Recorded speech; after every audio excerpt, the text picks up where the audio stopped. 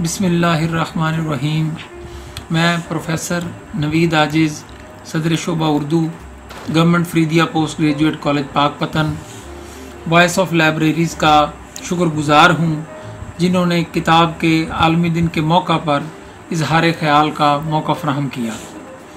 दोस्तों, किताब जो है, ये सुन्नत इलाहिया है। अल्लाह ताला ने इंसान की तहज़ीब और शूर को बेदार करने के लिए किताब का सहारा लिया है।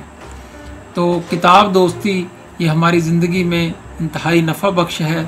किताब दोस्ती को आम कीजिए, क्योंकि इसके ज़रिए ही हम अगली नस्लों तक अपने शूर को, अपने पैगाम को, अपने तहज़ीब को, अपने सकाफ़ती वरसे को पहुँचा सकते हैं।